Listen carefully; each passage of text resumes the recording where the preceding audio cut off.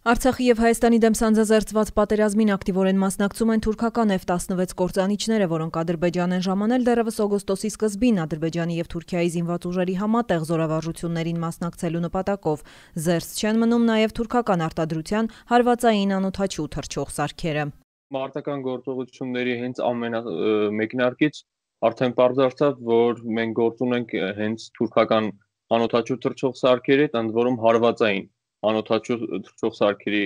հետ։ Խոսքը մասնավորապես Բայրակտար TB2 հարվածային ԱԹՍ-ի մասին է։ Նկատենք, որ հարվածային ԱԹՍ-ը այսպես հայ-ադրբեջանական հակաբարձության մեջ օգտագործվում է առաջին անգամ եթե հա նախորդ մարտական գործողություններում Ադրբեջանը կիրառում էր մահապարտ ԱԹՍ-ները, որոնք այսպես ասած, հա, թրիչք էին կատարում որոնում թիրախ եւ իրենք էլ թիրախի հետ ոչնչանում, ապա այս դեպքում հա այդ աթոսն ինքնուրույն թրիչք է կատարում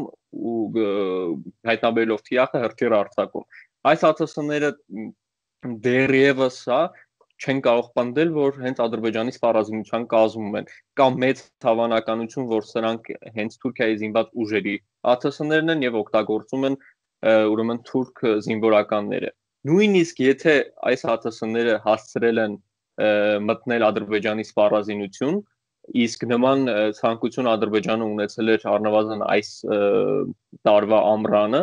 իսկ դա բավական կարճ ժամանակահատված է, որպեսի ԱԹՍ-ն արտադրեն, ադրբեջանցի մասնագետները հասցնեն յուրացնեն եւ այլն եւ այլն, ապա եթե նույնիսկ Ադրբեջանի սպառազինության կազմում է, ապա դրանք մեծ հավանականությամբ օգտագործում են Թուրքիայի զինված ուժերի սպաները։ Թուրքական անօթաչու թռչող սարքերը գործողություններ կարող են կատարել առանց Հայաստանի սահմանը հատելու։ Դրանք ոչ միայն կարող են հետևել ցանկացած շարժի, այլև լսել ու փոխանցել ցանկացած խոսակցություն, ինչպես նաև տեսադաշտում պահել ու դիտարկել Հայաստան-Արցախ մայրուղիները։ Նման վտանգավոր երևույթներ արդեն նկատվել են Թուրքիայի տարածքում։ Ադրբեջանի բանակը հագեցած է թուրքական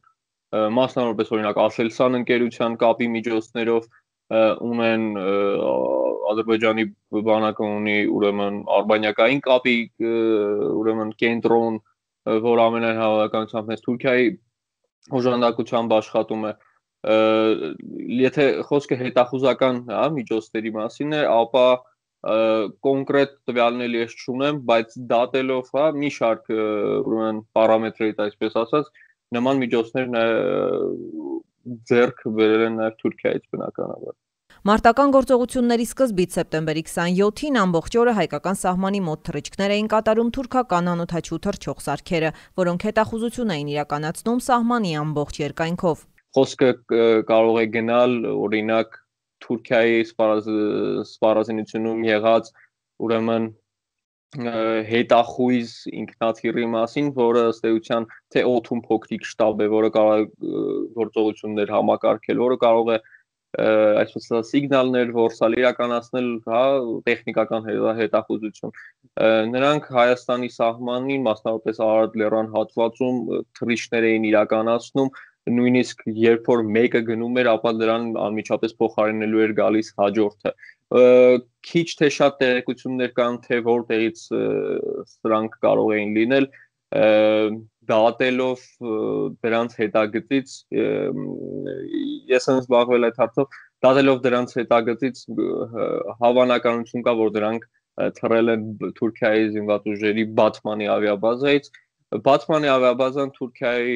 ուրեմն մասնագիտացված ավիաբազա է ԱԹՍ-ների հարցում։ Այս ավիաբազայից Թուրքիա թուրքական կողմը գործողություններ էր իրականացնում եւ համակարգում Սիրիայում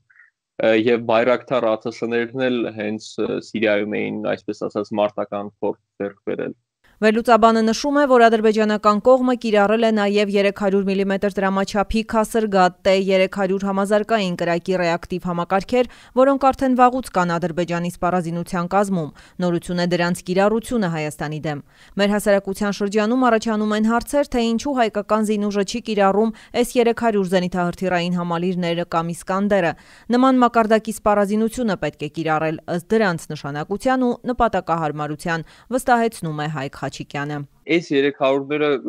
անհրաժեշտության դեպքում կօգտագործվեն եւ համապատասխան այսպես թիրախներ լինեն։ Հա,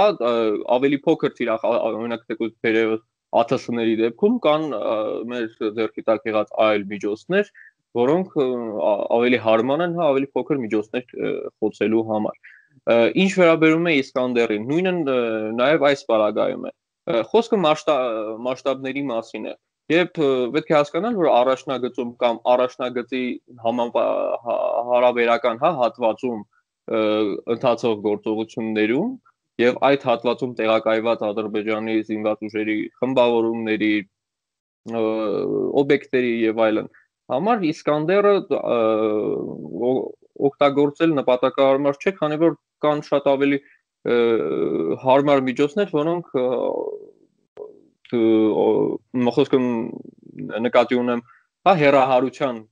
հետ կապված։ Իսկ Իսկանդերը շատ ավելի խորը ցիկունքում գործողությունների համար է եւ այստեղ հա մասշտաբների հարց է։ Ադրբեջանի կողմից թուրքական կործանիչների ու անօդաչու թռչող սարքերի կիրառությանը ՆԱՏՕ-ի հետ գործընկերությամբ անցկացվող կիբերանվտանգության միջազգային խոշոր համաժողովի ժամանակ անդրադարձել է նաև նախագահ Արմեն Սարգսյանը, նշելով, որ ՆԱՏՕ-ի անդամ Թուրքիան լիակատար կերպով աջակցում է Ադրբեջանին իր էլեկտրոնային դրոնների, կիբերհարձակումների, ինչպես նաև անձնակազմի, խորհրդատուների վարձկանների եւ անգամ F-16 կործանիչների միջոցով։